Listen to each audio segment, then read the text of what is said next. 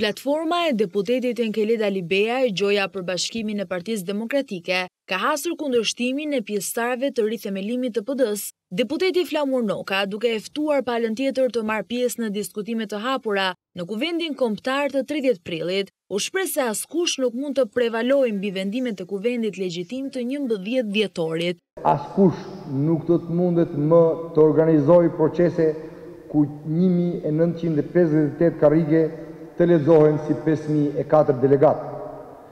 Askush nuk do të mundet më të zëvendësojë votën e lirë me blinda dhe gaz lotësjellës.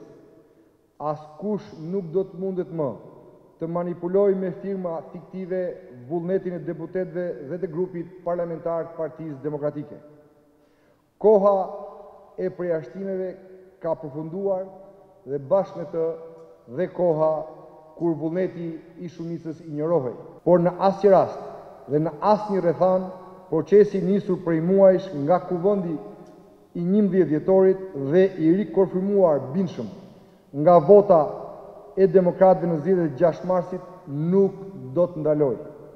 Mirëpresim të gjithë ata që janë bërë apo bëhen pjesë e këtij procesi, por nuk do të lejojmë askënd ta pengojë atë për shkak të frikës që Basha Alibeaj kanë nga përballja me votën dhe vullnetin e demokratëve. Më herët ka qenë Edi Paloka i cili përmes rrjeteve sociale ka shprehur keqardhje për kolegët e tij që siç tha ai nuk e kanë lexuar fare se çfarë i kanë vendosur përpara për të firmosur. Por platforma e pretenduar përbashkuese e Enkeled Alibeajt ka hasur kundërshtinë edhe të deputetit tjetër demokrat Ervin Salianji i cili ka mbështetur Lulzim Bashën deri në zgjedhjet e gjashtë marsit. Në një qëndrim të gjatë të publikuar në rrjetet sociale, Salianji e quan nismën e Alibeajt si qëllim të ndarjes së PD-së në dy parti.